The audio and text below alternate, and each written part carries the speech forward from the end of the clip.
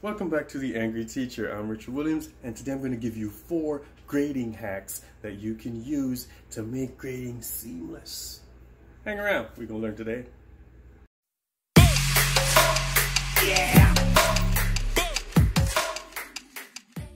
And we've got all this other paperwork to do. We get overwhelmed. Don't worry about it. We're going to handle that today. We're going to get some stuff done don't forget to like, comment, subscribe, and ring the little bell for the next Angry Teacher video release. It's gonna be dope. Now, number one, the, the first hack is put things in group. Don't try to do too much individual stuff, have them work in groups. Now we can do that as presentations. They can do PowerPoints and present it, or they can just present something, a part of something that they've read. They can also do, um, you can also have them do chart papers. They meet, huddle in a group, and they draw whatever, write whatever um, part of the text and do that assignment or they can do it digitally and send you parts or they combine the parts as they work together off you know line or whatever as homework and then they send the finished presentation or document to you. With that said, it helps you grade everyone, and then you can have an, a survey at the end or a part of it that they can say who didn't do whatever or who did what, and you can grade that way. It's easier to grade six people all at once instead of six individual projects. All right, that's step number one. All right, so grading at checkpoints versus at the end of everything, or if you grade parts and at checkpoints, at the end, it's easier because you've already been to the, the little parts. If you have a large project, uh, break it up and when they're doing something either in class or you have them send something to you, you have them check in with where they are, you can already tell where they're going with it, if it's an A, B, C, D, or F.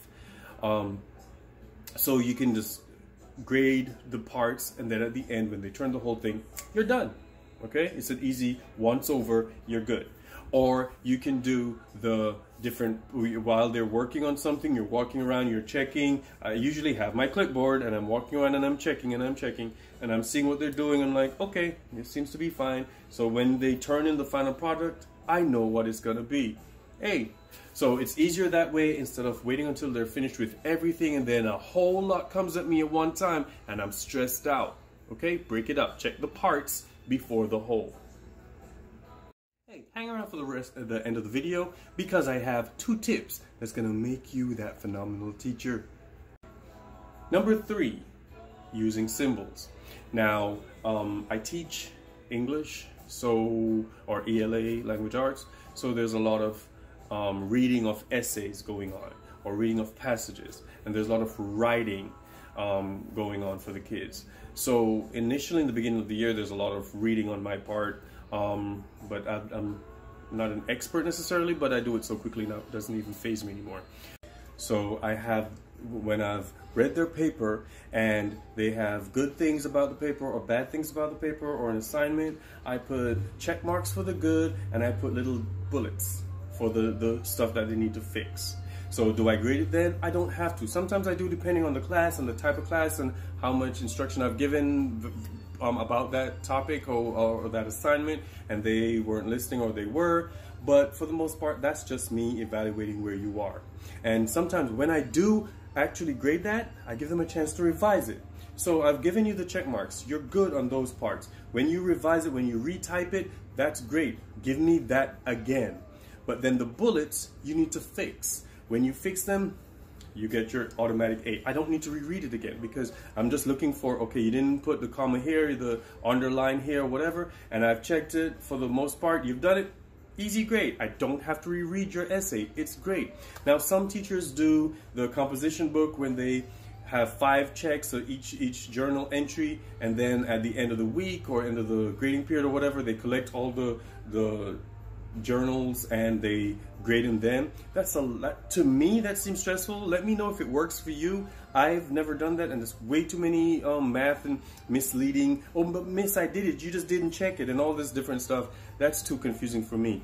But if it works let me know. Some people put five check marks as an a three is a b and that's way too much work. So um, i've just put what you did right what you didn't do right fix it and you got an a. All right so that's one thing you can do.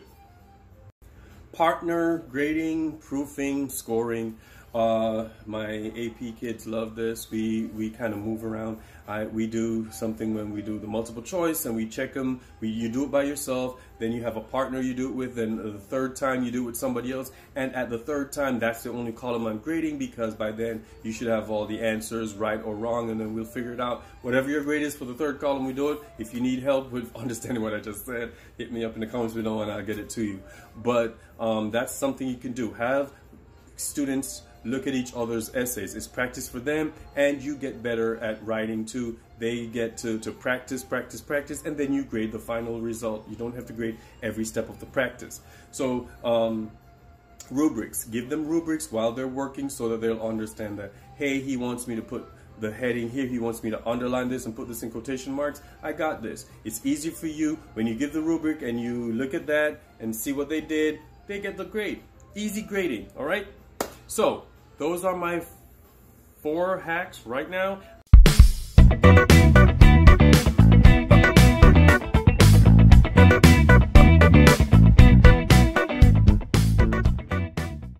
Now, here are the two tips. Number one, I get a clipboard and I think you should get a clipboard, especially if you are a high school teacher, get a clipboard. And I print up the roster. I have a roster of the kids per period. So um, depending on what it is, like this is one of the ways I grade discussions. I'm walking around, I'm listening to what they're saying, and I'm putting uh, uh, an asterisk or a grade by the student, by what I'm hearing. If they read, if they um, understood what was going on, I'm walking around and I'm checking off things as I'm walking around. I'm grading there. I don't have to wait until they're done with everything to turn everything into grade. That's how I grade discussions. Also, I provide a rubric for them. That's number two. They know that I have this to do and he gave me this time to do it and this is how it's done. Now, as I'm walking around, sometimes I'm checking or they can come to me and find out if they're doing it correctly. Yes, you are. No, you're not. Fix this. Don't fix that. You're good. And by the time that person has come to me, like a third time or whatever in class, the stuff is already graded. I already know what it is because we've talked about this several times. I don't have to sit and laboriously go over it because I've already graded it up here. That's one of the ways to quickly get grading done. Get your clipboard, get the roster, walk around, grade them on those things that they're doing. Even if it's a part of assignment, they're working on a group thing. Okay, this group is already going to get an A because I see it working out um, phenomenally. Or if it's a discussion, I hear that this kid is talking about this and they're on point. This one, okay, let me stop at this group and kind of probe him some more, get some more out of him so he can move his grade. These are great tips. I need you to use them because I want you to be that great angry teacher. Thanks for coming to class today.